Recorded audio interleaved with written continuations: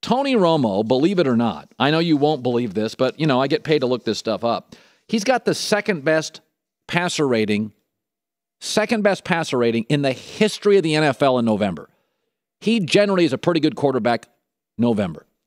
So Tony Romo is a really good quarterback, but Dak's playing very well. And let's be totally honest about this. If you put the Cowboys schedule up, Tony Romo would have also beaten the Giants, Redskins, Bears, and Niners. They're garbage, right?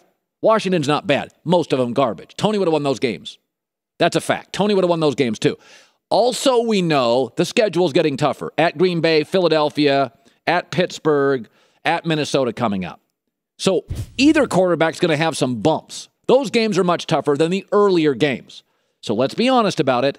Tony would have won these earlier games too. Those are garbage teams outside of Washington, and they're not great. And we know that both quarterbacks would struggle more against these teams coming up. I mean, Philadelphia and Green Bay, the next two games, have outstanding pass rushes. Set yourself up for success. You play Dak in these next two games. The Cowboys are making a mistake bringing Tony Romo back against Philadelphia.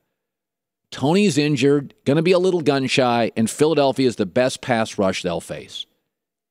Set yourself up for success. You let Dak play against Green Bay and Philadelphia. Not that you want him to lose, but if he's the real deal, you want to see how he deals with this pressure anyway, right? And he's younger and more mobile and healthier. And if he does get whacked a little, okay. Okay. But what you don't want to do is bring Tony Romo back. If Dallas beats Green Bay, Tony comes in and struggles with Philadelphia, because I think Tony or Dak would struggle a little with Philadelphia. Then you create an avalanche of second guessing among the Dallas and national media. Bring Tony back for Cleveland. That's what you do.